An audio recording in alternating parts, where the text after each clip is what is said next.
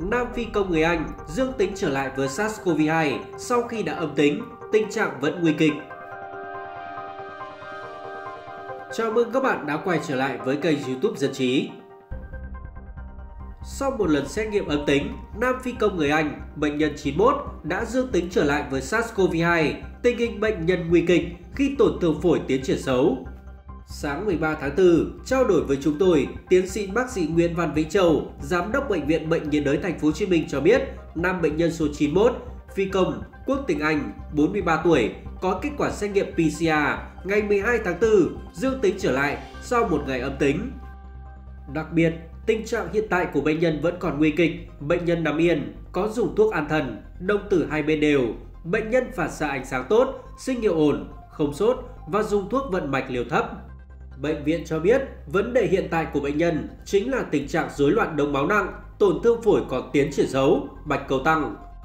Bệnh nhân này được tiếp tục can thiệp điều trị ECMO tìm phổi nhân tạo và chỉnh liều thuốc theo diễn tiến, lọc máu hấp phụ kháng thể, kháng nấm.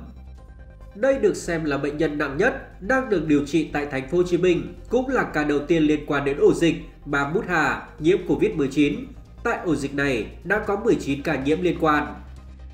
Sau khi nhập viện điều trị đến ngày 6 tháng 4, nam phi công liên tục sốt cao, suy hô hấp, phải hỗ trợ thở máy, x quang phổi còn hình ảnh tổn thương. Đến ngày 8 tháng 4, bệnh nhân 91 có diễn biến ổn định với oxy hóa máu qua màng ngoài cơ thể và lọc máu liên tục.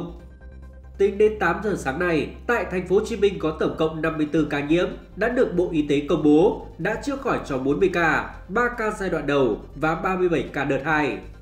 Sở Y tế thành phố Hồ Chí Minh cho biết, tổng số trường hợp nghi nhiễm tới thời điểm hiện tại là 356, trong đó có 354 trường hợp có kết quả âm tính, hai trường hợp đang đợi kết quả.